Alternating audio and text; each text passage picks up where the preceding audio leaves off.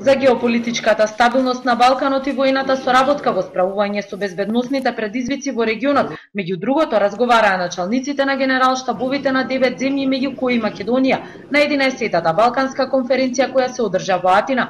Началникот на генералштабот на АРМ за Канал 5 вели дека овој форум е особено важен, бидејќи во изминатите години се родиле многу иницијативи за меѓусебна соработка. Со нашите идеи, предлози учествуваме активно.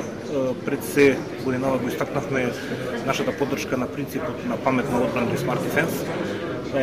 Како факт со кој се гордееме, истакнаме дека како мала држава во регионот на нашата војна академија се школуваат кадети за четири држави во регионот, тоа е Македонија, Косово, Црна Гора и Босна и Херцеговина, што уште како како мала држава е битен исчепор во, во регионот. На конференцијата се обрати грчкиот председател кој говореше за мир со работка и со живот на Балканот и уште еднаш ја искористи можноста индиректно без да ги именува да испрати порака до Македонија и Турција. Според Павлопулос, мир, почитување на историјата и меѓународното право се трите предуслови за една земја да стане членка на Европската унија.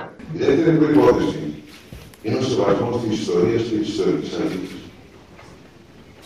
Јади, и на возителите и Следната средба на началниците на генералштабовите од земите од регионот е закажана за идната година во Белград.